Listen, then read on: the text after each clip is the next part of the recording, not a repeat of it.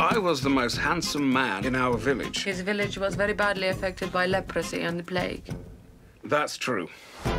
One night, I was awoken by this horrible clawing at the window, and I thought, who the hell is that? Because I live on the third floor. I threw back the curtain when I saw the most beautiful woman I had ever seen, clawing at the glass. I was hypnotized. I used hypnosis on him.